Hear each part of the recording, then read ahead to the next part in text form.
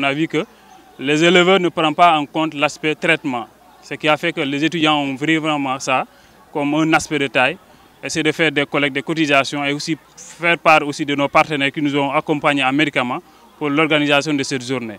Et on a commencé les activités cliniques ce matin, moi jusqu'à 13h pour faire l'aspect clinique, accompagner en même temps les éleveurs en termes de conseils sur les questions de déparasitage, sur les questions aussi d'alimentation, sur les questions relatives à la santé animale. C'est juste pour essayer d'accompagner dans cette dynamique d'évolution de la santé animale, essayer de donner le maximum d'informations aux éleveurs qu'ils puissent vraiment faire mieux par rapport à ce qu'ils ont l'habitude de faire. C'était ça l'objectif.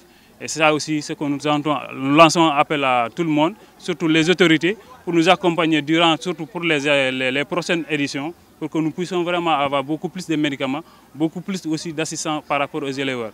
Voilà, pour la plupart, pour les cas qu'on a à traiter pour le moment, c'est les cas de déparasitage. On fait les déparasitages.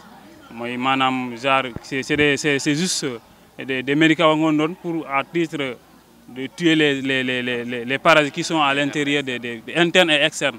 Donc au niveau des chevaux comme au niveau des, petits ruminants.